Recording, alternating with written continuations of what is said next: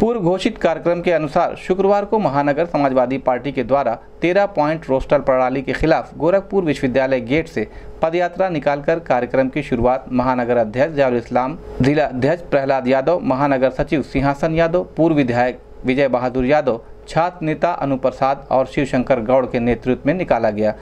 जो गोरखपुर विश्वविद्यालय मुख्य द्वार से होता हुआ आरटीओ तिराहा, हरिओम नगर चौराहा होते हुए बाबा साहब भीमराव अंबेडकर चौराहे पर सभा में परिवर्तित हो गया।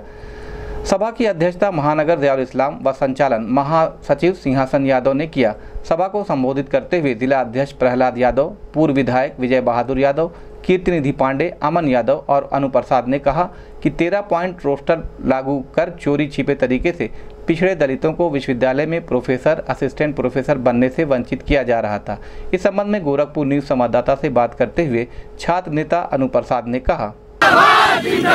समाजवादी पार्टी जिंदाबाद जिंदाबाद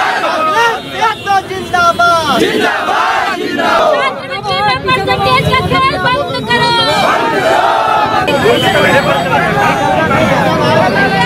नहीं निकलना करो अखिलेश यादव जिंदाबाद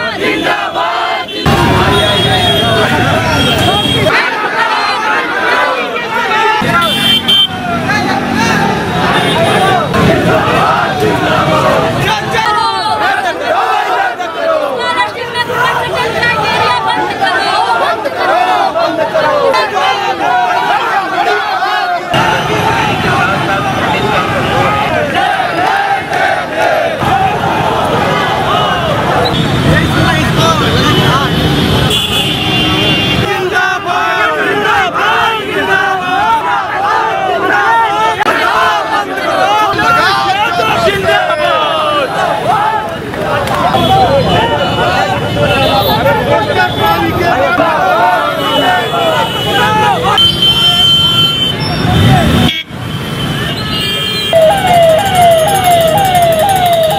आपको अवगत कराना है कि आज दिनांक आठ फरवरी दो हज़ार उन्नीस को समाजवादी पार्टी व बहुजन समाज पार्टी के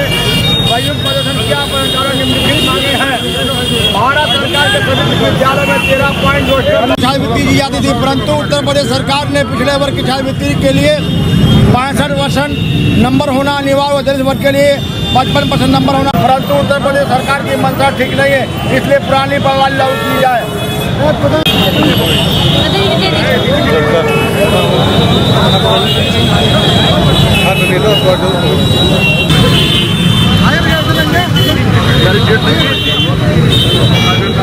ज्ञापन दिया गया है ये जिलाधिकारी महोदय के माध्यम से माननीय राष्ट्रपति महोदय को भेजा जाएगा आवश्यक कार्रवाई मेरा नाम अनु प्रसाद है, मैं गोरखपुर विश्वविद्यालय में शोध छात्रा हूँ और समाजवादी छात्र सभा से अध्यक्ष प्रत्याशी हूँ। विश्वविद्यालयों में नियुक्तियों का एक जो पहले